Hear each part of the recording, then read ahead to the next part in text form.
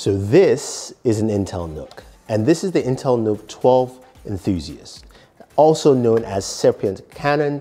And what is interesting about this is that this is an Intel NUC that has the Intel Arc A770M mobile GPU. This is Intel's dedicated GPU, and this is the first time trying it out here. So this is the GPU you should be expecting in Intel laptops come next year, and this is a very good showcase.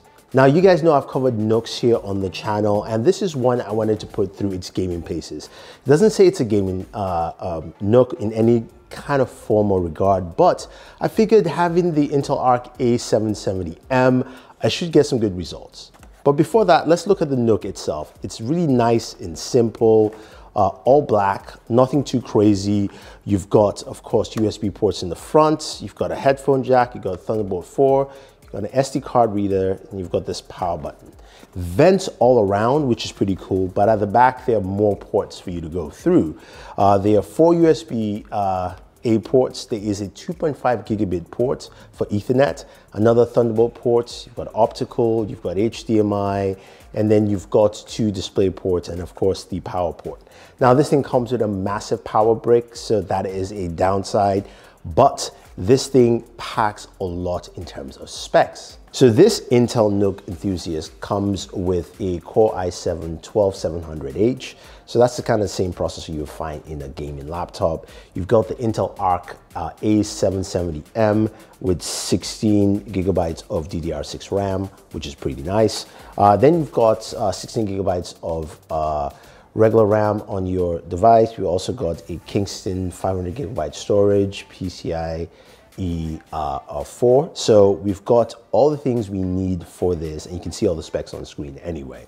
Now, as you know, I like to game on this channel, and we wanted to put it through its paces to see what would actually get. Now, I did run a Cinebench score. For those who are interested, you can find the scores up on screen, but we, we care about the A770M. What can it actually do for us? So we went ahead and, and tested it off with Shadow of the Tomb Raider and we ran the benchmark test and at the highest settings, we're able to get 96 frames per second running it on a 1440p monitor. So this monitor you see on screen here is an NZXT monitor. We'll talk about that later in the video, but we ran it at the highest resolution of the monitor. It's 144 Hertz and we got 96 frames per second, which is actually pretty good. So that is just impressive for me to see, especially with Intel's first run of dedicated graphics cards. Then we move over to Doom Eternal and Doom Eternal at uh, the highest settings there, which is Ultra Nightmare. Uh, you can drop it down low, of course. We're getting between 70 to about uh, 86 frames per second. Uh, not what I usually like. We could, could, get higher, of course, if we drop it down from Ultra Nightmare to say Ultra. We're getting over 100 on that. But it was good to see again I could play Doom Eternal without actually dropping below 70 frames per second. So again, that was pretty solid. And the games looked good and ran pretty well. And finally, I went ahead and tried, of course, Call of, Call of Duty uh, Modern Warfare Warzone, as you know. And on Warzone, was getting roughly around, you know, uh, 70 to, to about high 80 frames per second. Again, solid outing overall, which means at least with the system, I can get over 60 frames per second if I'm playing on a 1440p monitor. If I drop it to 1080p, I'm gonna definitely get much higher results.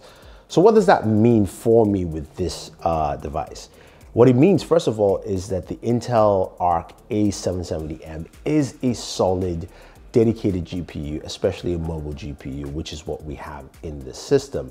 And I'm glad to see that it actually can perform pretty well on the highest settings of a lot of games. So if you want to get, of course, higher uh, uh, frame rates, uh, you can definitely just drop it down to say high or medium settings and you will get much better frame rate. So even just go down to 1080p in that regard. The only game we played at 1080p was of course um, Shadow of the Tomb Raider. The rest were played at 1440p.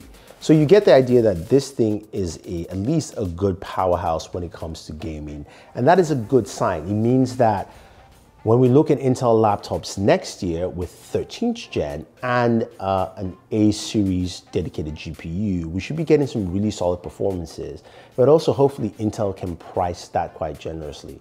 So I mentioned the monitor earlier and I want to go back to that because that is an NZXT monitor. That's the canvas. And I'm actually just throwing to this video because I use it, of course, in conjunction while testing out uh, the Intel uh, NUC Enthusiast. What I like about this monitor is its price point. Currently, you can get it for 289 the bad part about it is that they sell the stand separately, but I do like the stand because it allows it to swivel left and right. You don't have to actually turn the monitor. The base actually turns and it's pretty steady. Plus, you do have the ability to tilt up and down. It does have, of course, HDMI, uh, HDMI ports, two of those, one display port, and it has a refresh rate of 165 hertz. Now, this is a 1440p monitor, one millisecond response time, also has uh, HDR10 capabilities, AMD FreeSync Premium as well. It's got anti-glare and also 100 1500 uh, R curved radius, which is pretty nice. Overall, this is a solid monitor and it pairs well with something like the Intel NUC. Now, I don't have pricing for this NUC because a lot of NUCs, you can get them bare bone.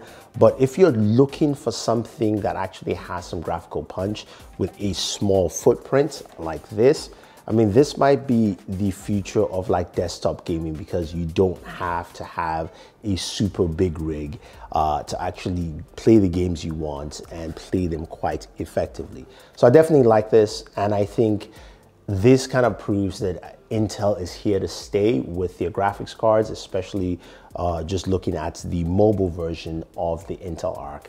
I'm liking what I see. I can't wait to see it with 13 Gen and also maybe with the next version of the NUC. I will be checking out a gaming NUC soon, so stay tuned for that video.